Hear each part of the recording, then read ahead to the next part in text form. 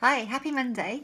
So today, Tarophili and um, Tarophili is where you just hold the card. You don't see what it is, you hold it and then you feel what's going on. And tonight was really amazing.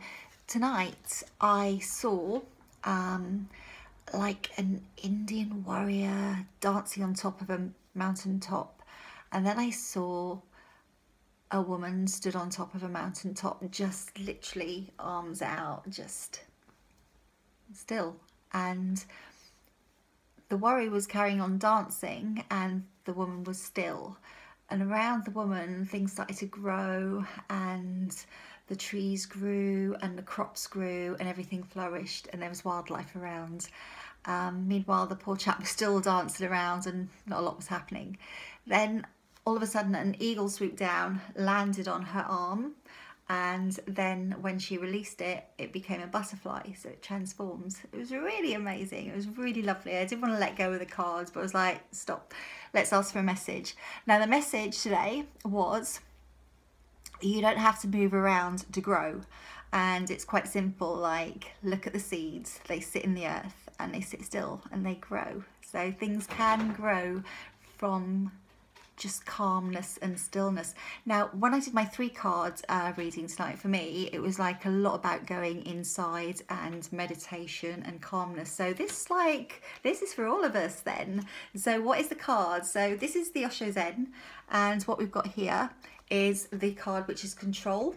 And can you see it there? I've got some flashing lights. I don't know what's going on there. It's like very magic. So control is the King of Swords.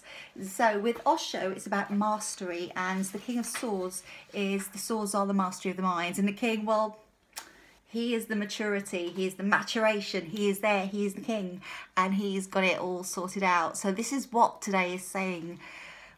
So many people say to me, I am so tired. So now is the time to just go still, just go within. Just uh, you might not be into meditation, you don't have to how about just being a little bit still for a little while and um, having some inner time, like just calm, just watching the rain fall or the bees buzz, whatever floats your boats.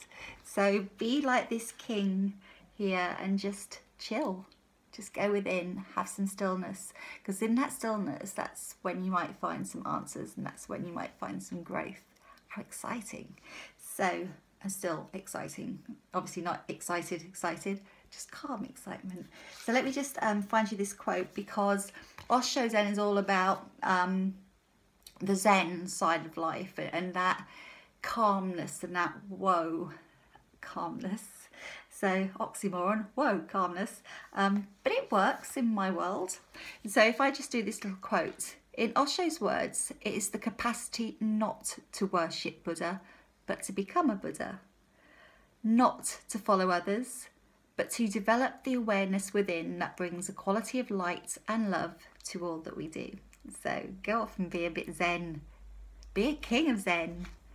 Take control of your thoughts, master them, and stop letting them buzz around in the chaos of the day.